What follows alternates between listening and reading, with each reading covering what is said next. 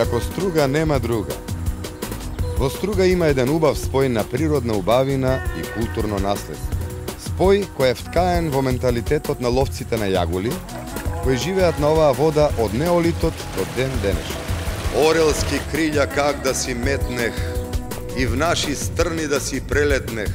На наши места ја да си идам, да видам Охрид, Струга да видам. Струга лежи на двата брега на реката Црндрин, која истекува од Охридското езеро. Античкото име на Струга е Енхалон, што значи јагула. Старите словени го нарекле Страга, што означува премир.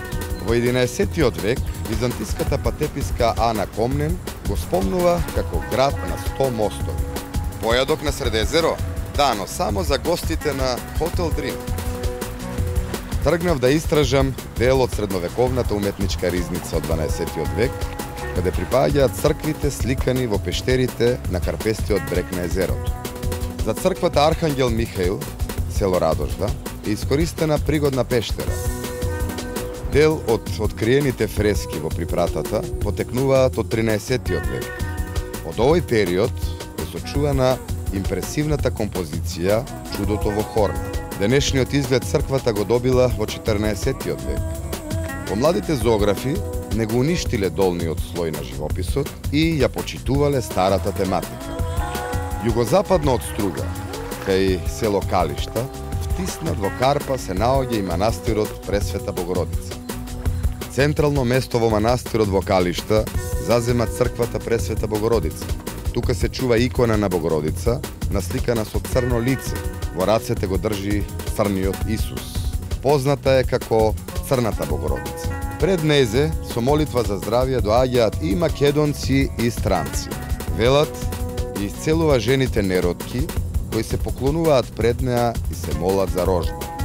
Црквата Свети Атанасије во Калишта е посветена на Александрискиот архиепископ од 4 век, сместена во природна карпа и во неа е сочуван најголемиот сликарски ансамбл на средновековното сликарство во Струшко. Поради отвореноста во струга дува ветер од југ, кој ги повикува ловците на јагули и плашици, а и од север студениот стрмец, кој со себе си ги носи бранови. Езерото изобилува со живот.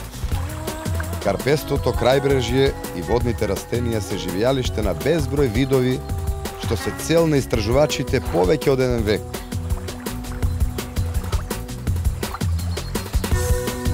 Далечната 1928 година, руските медицинари Никола и Софија Незлобински ја создале првата приватна зоолошка збирка, изложена во Природно-научниот музеј доктор Никола Незлобински. Таа сведочи за посебноста на овој жив споменик на природата. Ако сте во Струга, задолжително посетете го овој музеј.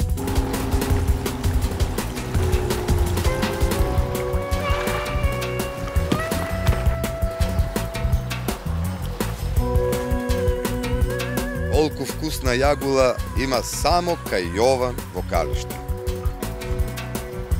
Вакво езеро нема никаде на друго место. Ова не е езеро, ова е сол за господова.